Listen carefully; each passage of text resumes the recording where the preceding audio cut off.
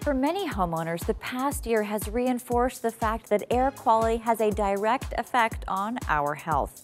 Lennox Industries Vice President of Marketing, Kim McGill, shares how your HVAC system can transform the air in your home. Thanks for being here.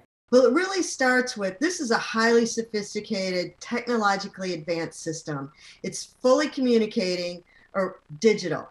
The units talk to each other. You've got a smart thermostat when we say it can transform the air in your home, what we mean is it can truly have that pinpoint precision that you need to make your home comfortable for you. Give you an example. In my house, I like it a little bit warmer in my office. My husband likes a little bit cooler. We can actually change the environment in my office differently from the area where he is spending his time.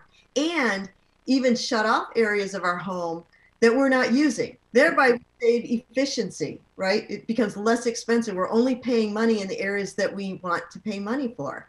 The other thing is we connect that with a smart IAQ system, indoor air quality system. And now we've got the ability to remove all of the you know, viruses, all of the pollen, dander. We have two dogs. Really get that all out of our home and create this, you know, clean, healthy environment that we all, especially after this last year, that we all really want. So you can find all this information on Lennox.com.